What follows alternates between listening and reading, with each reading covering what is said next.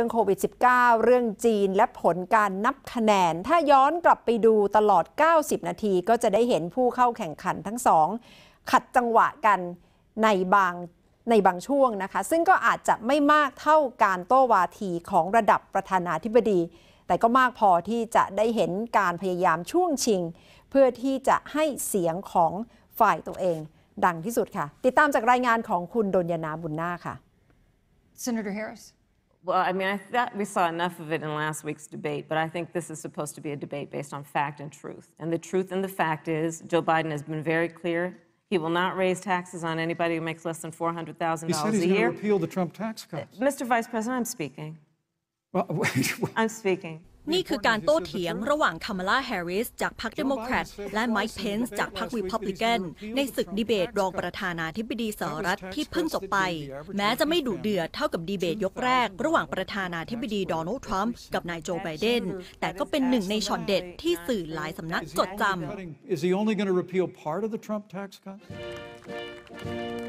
แต่เมื่อถูกถามถึงเหตุการณ์ที่โรสการ์เดนที่ทำเนียบขาว ที่ทำให้บุคคลใกล้ชิดของประธานาธิบดีทรัมป์ติดเชื้อโควิด -19 ไปหลายคน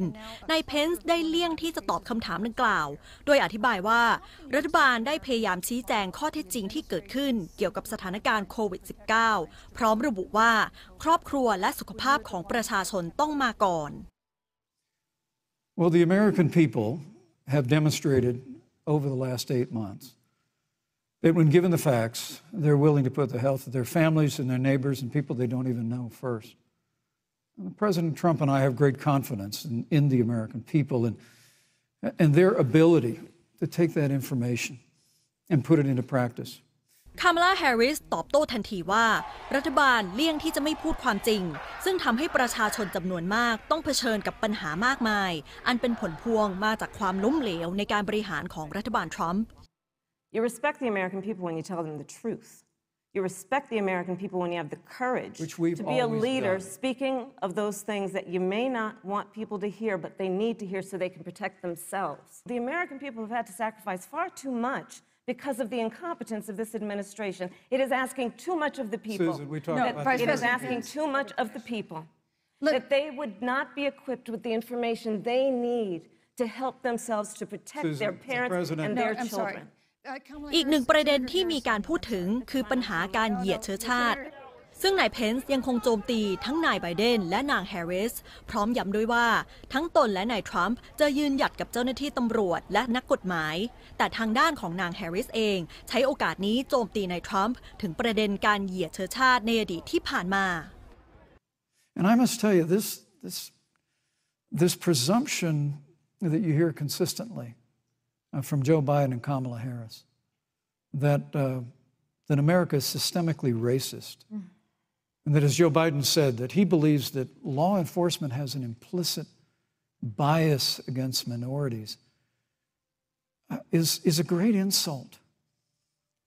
to the men and women who serve in law enforcement. And I want everyone to know who puts on the uniform of law enforcement every day that President Trump and I stand with you. And this is a part of a pattern of Donald Trump's.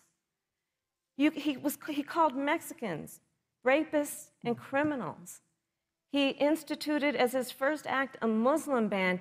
This is who we have as the President of the United States. And America, you deserve better. Joe Biden will be a president who brings our country together. Senator Harris. And, and ถึงแม้ว่าการดีเบตของรองประธานาธิบดีจะมีเพียงครั้งเดียวเท่านั้น แต่บทบาทของรองประธานาธิบดีมีความสำคัญไม่แพ้ประธานาธิบดีของสหรัฐ with the Cold War, it became ซึ่งโจลโกลด์สตีนจาก St. Louis University School of Law อธิบายโดยสรุปว่า บทบาทสำคัญของรองประธานาธิบดี คือการให้ความช่วยเหลือประธานาธิบดี เพื่อให้การปฏิบัติหน้าที่และการดำรงตำแหน่งของเขาเป็นไปอย่างราบรื่นที่สุด